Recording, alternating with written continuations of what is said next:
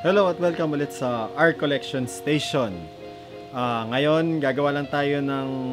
May itatry lang tayo dun sa Mark 85 ng ZD Toys at saka dun sa ah, Nano Gauntlet ng Mark 85 ng Hasbro. So, before natin gawin, ah, kung di pa kayo nakasubscribe sa channel na to, pwede ninyong i-click yung ah, subscription button sa baba at yung notification button para kami mga bago tayong episodes ay manonotify kayo kaagad. So, check natin. So, yung ball joint o yung joint ng ah, ZD Toys kagaya nung iba, ah, ganun pa din siya. So, ah, mahaba siya.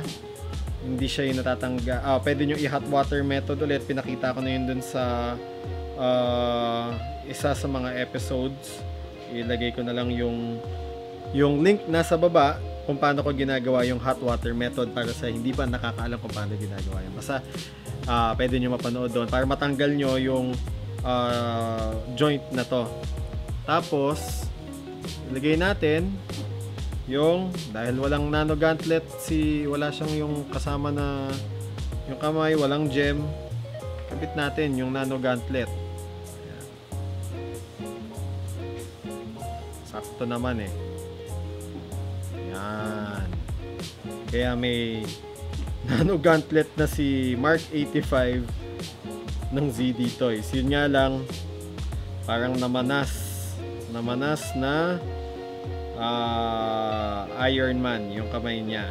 Pero kung gusto na lang, trip nyo lang ikabit yung malaking nano gauntlet dun sa kamay niya, pwede. Kung gusto nyo din ikabit yung ito, pwede din. Gusto nyong malaki yung kamay ni Iron Man, pwede nyong gawin. Yan.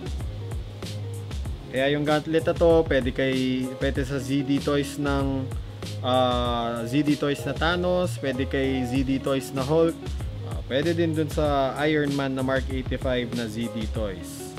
Sana nag-enjoy kayo sa episode na to. Wala, pinagkatuwaan lang natin na yung ah, sa Hasbro na Nano Gauntlet kinabit natin dun sa Iron Man na Mark 85 ng ZD Toys. Kaya kung gusto nyo makakuha ng ganito mga items ng Mark 85 na ng ZD Toys, pwede ninyong i-click yung ah, sa Facebook page ko sa baba na Our Little Toy Shop. Doon madami pang iba pang mga figures na pwede ninyong ah, magustuhan. May mga Marvel, may mga anime, madami pang iba pang mga figures. Click nyo na lang yung uh, link sa description sa baba. Tapos kung hindi pa kayo nakasubscribe, uh, i-click nyo na din yung subscription button sa baba, pati yung notification button para pagka may mga bago tayong episodes ay uh, ma-notify kayo kaagad. So again, thank you for watching and see you next episode.